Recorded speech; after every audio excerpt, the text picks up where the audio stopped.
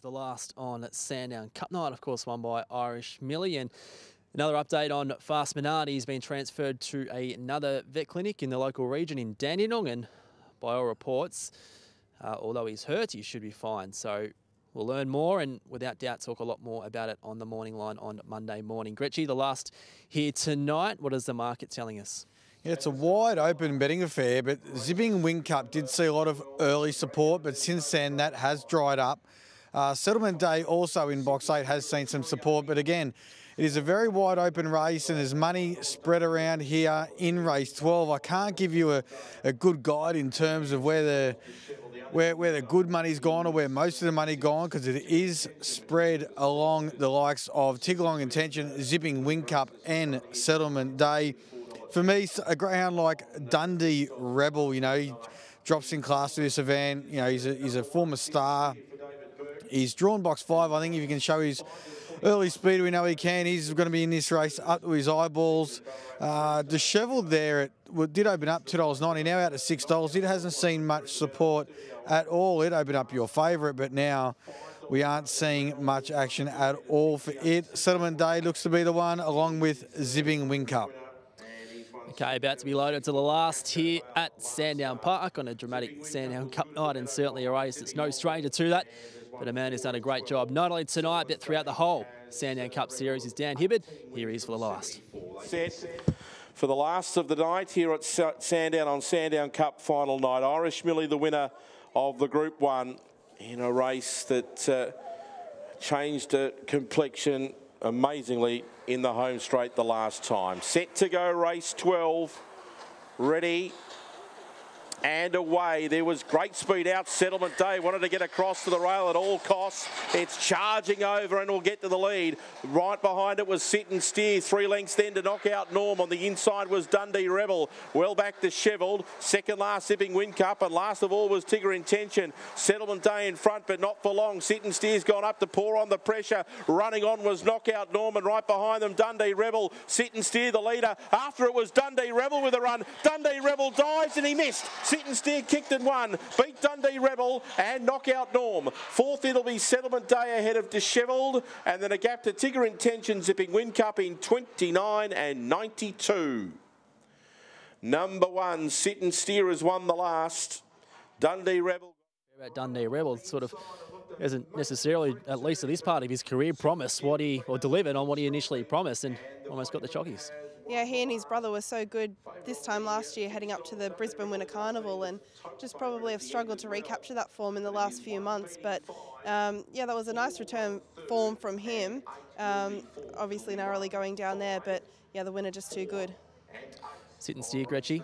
Well, that's exactly what, if you had a jockey, that's exactly what he just needed to do, sit and steer from box one. He Settlement Day crossed and led, sit and steer, punched up on the fence, got the second gun down the back and just hooked around Settlement Day and, and held off Dundee Rebel late. He was $3.80, sold in the market all the way through, sit and steer, but that's a good little victory there to round out Sandown Cup night.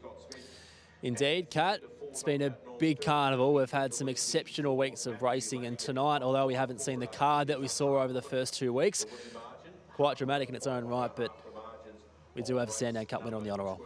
Yeah, we do, and um, the race was obviously it was a dampener definitely what happened in the home straight, but um, I also feel a little bit for Steve White and connections there because um, they deserve to celebrate an achievement to win a Sandown Cup and Irish Millie and what a remarkable job they've done with her. So um, just a moment to, to celebrate them as well because um, she was a deserving winner and um, yeah, it's obviously going to be marred by a little bit of sadness there, but thankfully we're hearing from the race that all four dogs are going to be okay coming out of it, hopefully um, in the next few months as well. So, um, you know, sad circumstances surrounding it, but um, congratulations to Steve White and connections there with Irish Millie because they still deserve to be able to celebrate that. 100%. Win. And it's not like Richie that that happened and she won the race because of it. She was there ready to strike and won in, in her own right.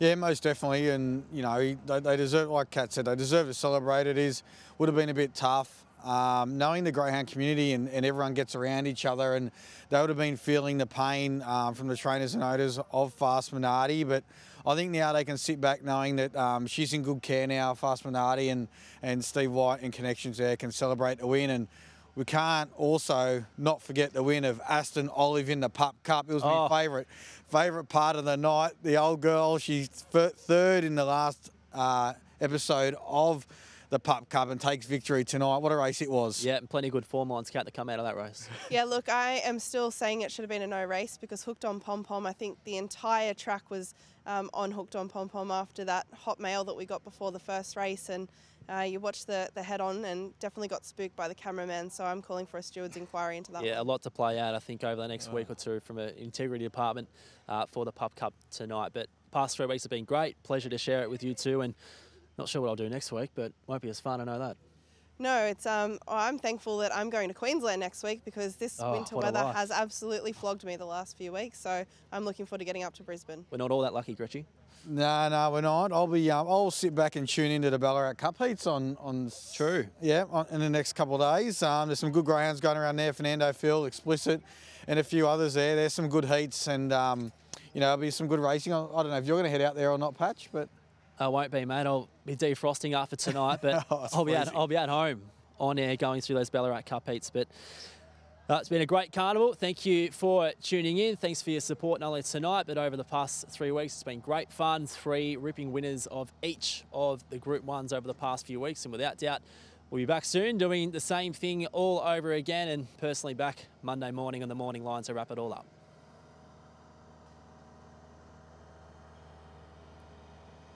Thanks, Dawes. Thanks, Dodds. Thanks, Andrew. Thanks.